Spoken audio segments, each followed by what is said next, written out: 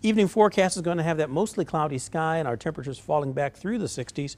By 9 on KCWE, we'll be at about 65 degrees with Haley Harrison in yours truly. Low temperatures, pretty mild when you think about it, only the 50s mainly because of the clouds and the chance of spotty showers to start off. A couple of rumbles of thunder possible. Look at our winds out of the south at 12 to 25 and stronger. That'll be a first wave of rain trying to move through. Here it is on first look future scan. Again, stray showers a possibility even between now and midnight or so, but most areas will still be dry and rain free. There will be a wave of rain that'll be moving across during the early morning hours. This is like 3:30 in the morning, heavier showers. They move out. Another one replaces it by 7:30 in the morning.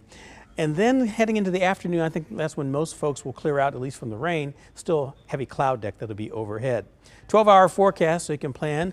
Temperatures staying pretty steady, impacting you with those showers ending by afternoon and then just limited sunshine. Then the next round tries to move in toward the evening hours.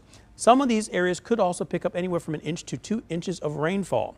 Exclusive First Alert nine day forecast still has impact days as well, just because with the stalled out front, we're going to see several opportunities. Again, not a washout, not 24 7 on each one of these days, but there is a chance that we're going to see those rain showers every once in a while. Tuesday and Wednesday, when the Royals come back to town, they'll be battling not only their opponent, but also chances of thunderstorms. And then heading into the latter half of the work week, temperatures getting closer to 80 degrees, and mornings getting warmer in the 60s.